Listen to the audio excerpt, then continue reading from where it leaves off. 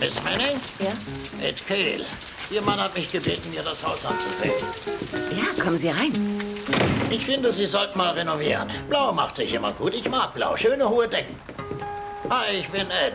Ich bin Sui. Du machst Hausaufgaben. Sehr gut. Wie alt sind denn die Geräte? Alt. Aber der Kühlschrank funktioniert großartig. Ich meine, hin und wieder gefriert der Salat ein bisschen, allerdings nur, wenn man ihn zu weit nach hinten schiebt. Dagegen sollten Sie aber was tun.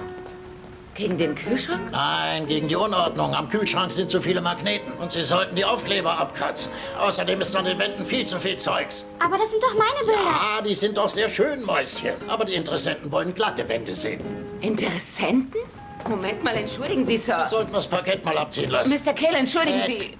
Äh, Ed, ich bin etwas verwirrt. Ich dachte, Sie wollten das Haus nur schätzen. Nein, das macht ein Sie Sachverständiger. sind kein Sachverständiger? Nein, ich bin Immobilienmakler. Es muss sich um einen Irrtum handeln. Nein, nein, ich komme nur immer zu früh. Kamin im Schlafzimmer. Wirklich sehr schön. Hallo?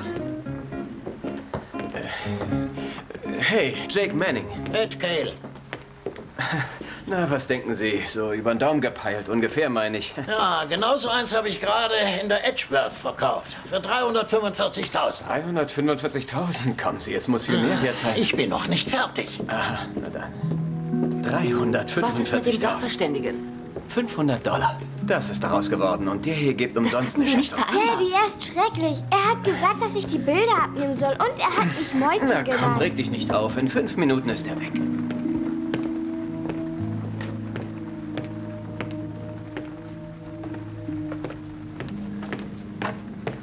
Wie wär's, wenn du mich fragst oder mir wenigstens Bescheid sagst? Dann sage ich dir jetzt Bescheid. Morgen komme ich mit jemand anderem. Ist das Kooperation? Könnten Sie versuchen, sich klar auszudrücken? Ich möchte feststellen, dass wir für das Haus schon eine Schätzung haben. Das war aber kein Gutachter. Und darum wollte ich von drei Maklern Angebote für das Haus einholen Heißt und auf das diese etwa, dass Weise ich einen das Ganze Preis dafür ermitteln. Nein, muss? sei einfach nicht da. Geh doch mit deinem Freund spazieren oder sonst was. Ich werde sie rumführen, okay? Entschuldige mal, ich werde nicht zulassen, dass Fremde durch mein Haus gehen, während ich Nein, nicht da das ist bin. unser Haus. Unser Haus. Ich bezahle die Hypothek. Schon vergessen? Ja, wenn dir danach ist. Oh ja, ich habe mich bei der Zahlung ein paar Mal verspätet. In Ordnung. Können Er wir kann jetzt... das nicht einfach so durchziehen. Er muss das vorher ankündigen. Lilly hat recht. Wir hatten eine Schätzung vereinbart. Was wir hier tun, kostet uns 350 pro Sitzung. Der Sachverständige kostet 500 und ich achte nun mal aufs Geld. Gut, das sollen Sie auch. Also gut. Wir müssen eine zweite Hypothek aufnehmen, damit ich das Restaurant eröffnen kann. Und das so verdiente Geld fließt wiederum ins Haus. Könnten wir es vielleicht trotzdem mit den Maklern versuchen? Wir werden ja sehen, ob es hinkommt, ob es mit den Zahlen so hinkommt. Und sollten wir noch eine Schätzung brauchen, okay. Was halten Sie davon? Ich will aber alle Termine vereinbaren. Bitte, wieso nicht? Ich will nicht nach Hause kommen und eines Tages ein zu verkaufen Schild Oh, in meinem Vorgarten sehen. wahr. Das kann Jake nicht machen, Lilly. Das kann er nicht? Nein. Ah, nein, es darf auf keinen Fall Vermögen ohne die schriftliche Zustimmung der anderen Partei übertragen, belastet oder verkauft werden. Okay. Es wird kein Verkaufen, Übertragen oder Belasten geben. Wie steht's mit dem Wirtschaftsprüfer? Ich habe noch nichts erreicht. Jetzt hör doch auf, Lilly. Ich habe ihn angerufen, okay? Der Kerl verlangt einen Vorschuss von 3500 Dollar. Darüber kann nicht verhandelt werden, Jake. Sie müssen das erledigen. Sie können ihn jetzt von hier aus anrufen, aber dann würden Sie mich dafür bezahlen, wie ich Ihnen beim Telefonieren zusehe. Na gut, ich rufe ihn später an, okay? Sagen Sie ihm Bescheid, Michael? Natürlich. Ich werde Sie jetzt zu seinem Büro bringen. Dort können Sie es sich bequem machen. Haben Sie was zu trinken? Ja. Entschuldigen Sie die Sache mit dem Ausweis, Mr. Sandler. Wir wussten nicht, dass Sie Könnte kommen. ich bitte den Wachschutz sprechen? Wow, ich hab's dir ja gesagt. Und das sind nur die provisorischen Geschäftsräume? Ja, nur für die Übergangszeit. Was machen die überhaupt? Äh, Firmenprofile. Ja, sowas ist quadratmeterintensiv. Zwölftes Jahrhundert. Wissen Sie, wie schwer es ist, dafür zu sorgen, dass eine Klinge über 800 Jahre lang rasiermesserscharf bleibt? Miles Rentel. Und wer sind Sie? Rick Samler, ich bin Davids Partner. Ja. Wie geht es Ihnen, David, mein junger Freund? Ein Mann hat fünf Jahre seines Lebens darauf verwendet, dies zu erschaffen. Und 32 Generationen haben in ununterbrochener Folge darüber gewacht. Dass kein einziger Kratzer und auch kein Rostfleck die Vollkommenheit stört. Dieser Stahl wurde tausende Male übereinander gelegt, um ihm seine Flexibilität zu verleihen. Ja, und doch wurde die Schneide aus einem ungewöhnlich harten Stahl geschmiedet, wie Sie sich denken können. Miles ist ganz gerne ein bisschen avantgardistisch. Aber nie unflexibel, hm? Mein Freund David. Tja, Miles, wir wollen natürlich, dass Sie zufrieden sind. Und ganz egal, wie aufwendig es ist, unsere Aufgabe als Architekten besteht darin, die Schnittstelle von Form und Funktion aufzuzeigen. Mr. Samler, ich nehme an, dass David Ihnen von unserer dialektischen Auseinandersetzung erzählt hat.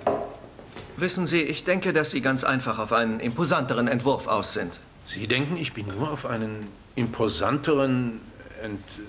Ach du großer Gott. Was glauben Sie, warum wohl wünsche ich mir ein imposanteres Design? Um vielleicht der Rolle gerecht zu werden, die Ihre Agentur in der Welt der Werbung spielt? Aha, also um mein Ego zu Bauchpinseln. Nein, nein, meine Eitelkeit ist ausreichend befriedigt. Miles, Danke. was wir Ihnen vorschlagen David, wollen... Womit verkauft man Produkte? Hm? Mit Charme. Der Zweck eines Werbespots beispielsweise besteht darin, den Betrachter so unzufrieden zu machen, dass er alles tun würde, um das zu ändern. Und ich muss dasselbe mit meinen Kunden tun. Die Manager der größten Unternehmen auf dieser Welt müssen in mein Gebäude kommen und das Gefühl haben, dass ihre Bemühungen ohne mich zwecklos sind. Ja, und äh, dazu brauche ich ein sehr imposantes Gebäude. Vielleicht sowas wie Speers Entwurf von 37 für den neuen Reichstag? Ja, wie der Reichstag, ganz genau. Vielleicht nur ein wenig gefälliger, verstehen Sie?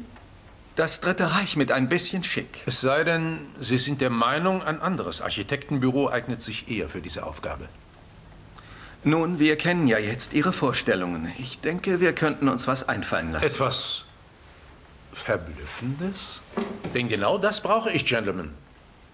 Und nichts Geringeres.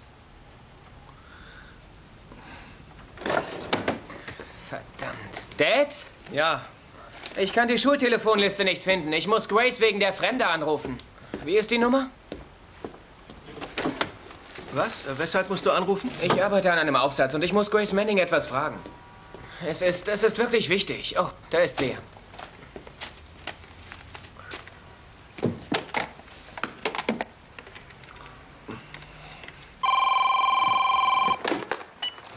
Hallo?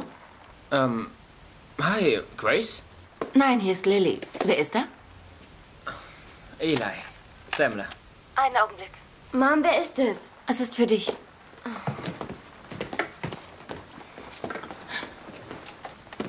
Hallo? Hi, hier ist Eli. Oh, hi. Äh, warte mal, ich gehe ans andere Telefon. Ich auch. Ich gehe in mein Zimmer, also leg auf, okay? Dad, ich gehe nach oben. Legst du auf? Natürlich, ja. Gut, okay.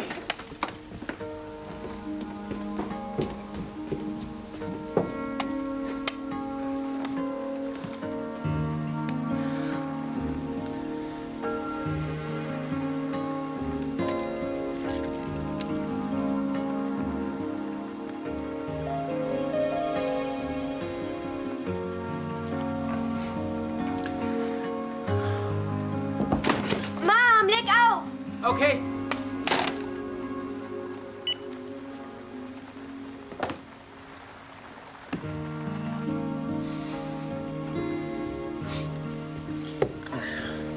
Hallo?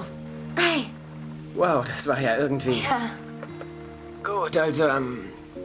Es. Es gibt ja etwas, das ich überhaupt nicht verstehe, ja? Und? Hat er seine Mutter umgebracht, ja oder nein?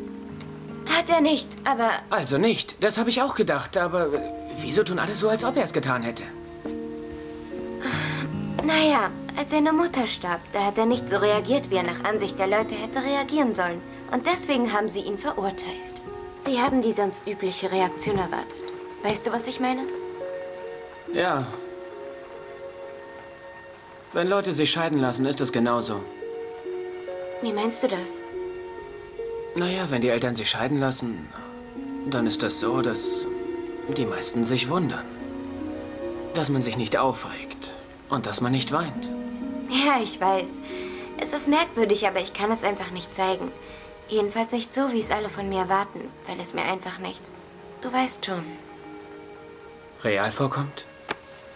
Wann fängt es an, real zu werden? Ich weiß nicht genau. Vielleicht nie.